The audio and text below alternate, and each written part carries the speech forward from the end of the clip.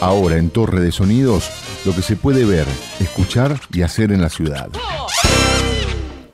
Bienvenidos y bienvenidas a esta segunda edición de la sección Lo que podés hacer. ¿Te acordás en qué consistía? La misma se propone difundir la agenda cultural de la semana que quizás pueda interesarte. Así que no te olvides, si sos músico o música y tenés un proyecto musical y te interesa salir en esta sección o en el programa Torres de Sonido, podés escribirnos a sonidosdelau.gmail.com. Así que ahora los invitamos a ver la agenda de esta semana.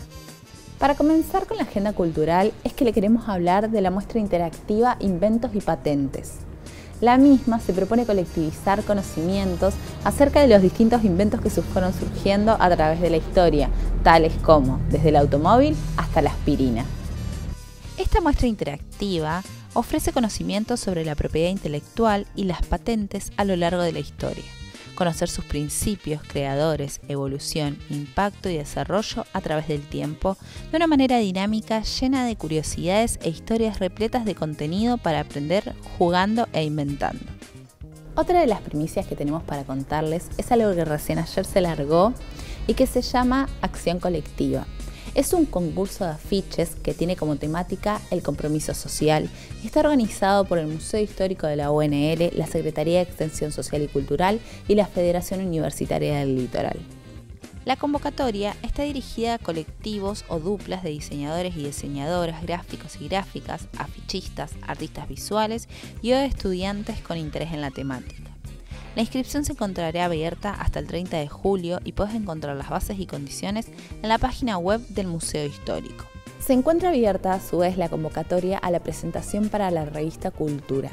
La misma tiene tiempo hasta el 30 de julio y propone que se presenten trabajos que versen sobre debates y perspectivas sobre un mundo en cambio.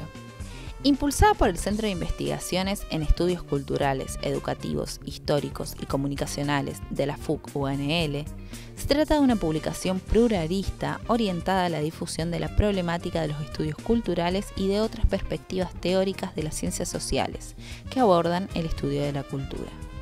Otra propuesta que tenemos es el ciclo de cine que se está transmitiendo por Litus TV que se denomina FIN, las últimas películas de los grandes cineastas.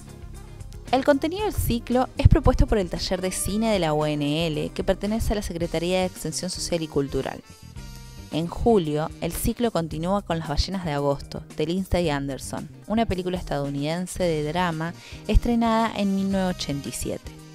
Como cierre, se presentará el film Desde ahora y para siempre, de John Huston, basado en el cuento Los muertos de James Joyce.